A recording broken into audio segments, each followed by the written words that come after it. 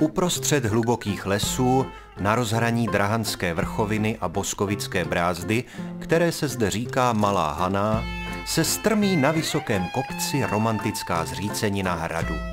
Ten hrad nese podle staroslavného moravského rodu jméno Boskovice. A jak to všechno začalo?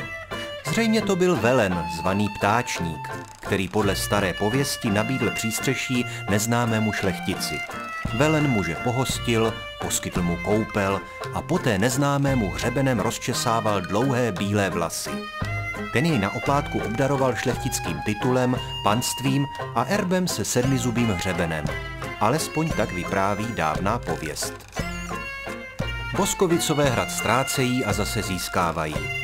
Polovině 16. století ale prodávají panství s hradem do rukou Ederů ze Šťavnice, kteří se zde na protějším kopci zvaném Zlatník snažili těžit zlato. Již 20 let na toho kupují páni ze Zástřizl a nakonec ho vyženili Dietrichštejnové. Ti v 18. století hrad opouštějí a ten začíná chátrat mimo jiné i proto, že z něho berou kámen na stavbu nového sídla.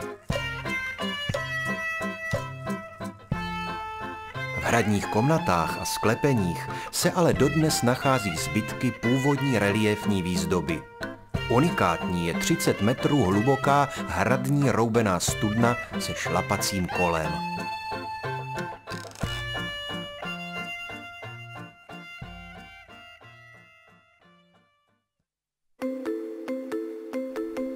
Výhledy z hradní zříceniny do všech světových stran, zvláště na sever, kudy často nepochybně vedly kroky koně Ladislava z Boskovic směřujícího do Moravské Třebové, dokážou potěšit každého.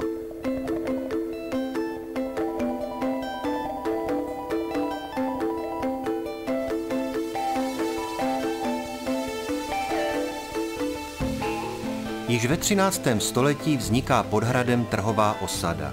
Jako městečko jsou Boskovice zmiňovány od druhé poloviny 15. století.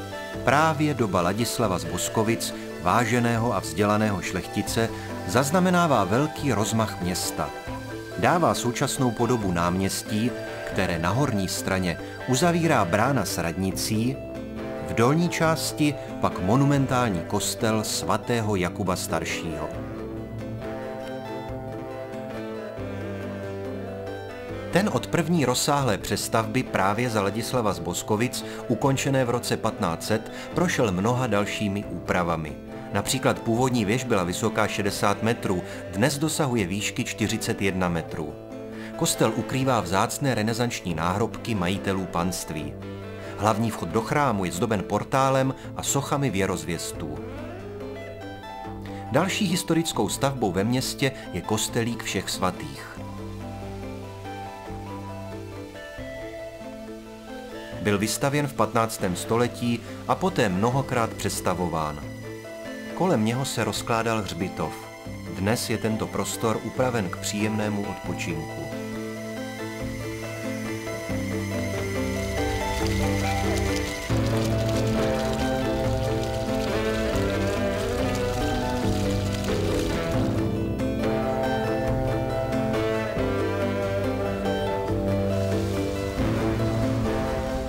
Příznivou situací pro budování města bylo zřízení okresního úřadu Boskovice v roce 1849, který zde působil do roku 1959.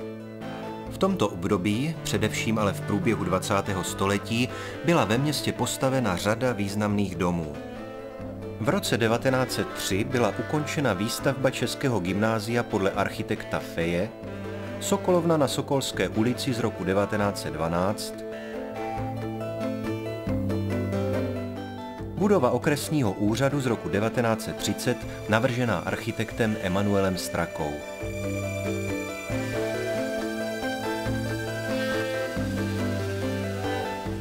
Nejmladší státem chráněná památka Boskovic, evangelický kostel, byla postavena v roce 1941 nákladem Českobratrské církve evangelické. Zajímavou rekonstrukcí prošel v roce 2002 zámecký skleník. Dnes slouží jako reprezentativní kulturní stánek. Město je dějištěm řady významných kulturních a společenských událostí. Jednou z nejnavštěvovanějších je čtyřdenní multikulturní festival Boskovice, pořádaný každoročně v polovině července. Hudební a divadelní scény se rozkládají v prostorách kolem zámeckého skleníku, muzea, letního kina, ale i na hradě.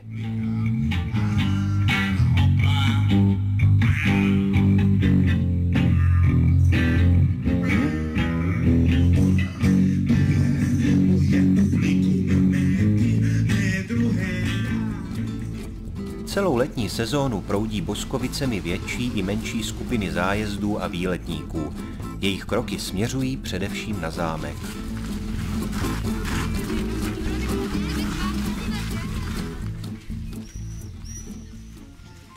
František Xaver z Dietrichsteina dal v letech 1819 až 1826 přestavět dominikánský klášter, zrušený za Josefa II. na šlechtické sídlo. Zámek dodnes patří k nejkrásnějším empírovým stavbám na Moravě. Vstupním místem je průjezdná sloupová síň s úžasným trojrameným schodištěm. Střeží sochy antických bytostí.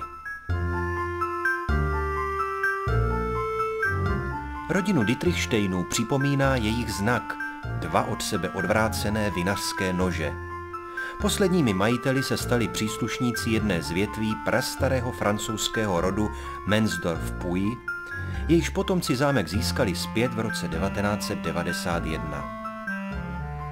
Vybavení a uspořádání současné expozice je provedeno podle starých náčrtů a obrázků.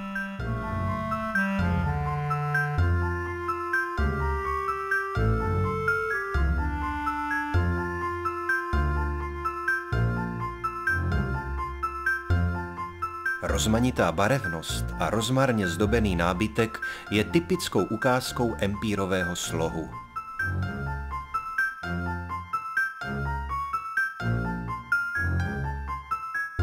Zatímco dámy z obrazu vyhlížejí okny do krásné krajiny, my už musíme rychle utíkat, už má být dávno zavřeno a nachytal nás tady sám hrabě Mensdorf. Já vás zamknu s tím klíčem.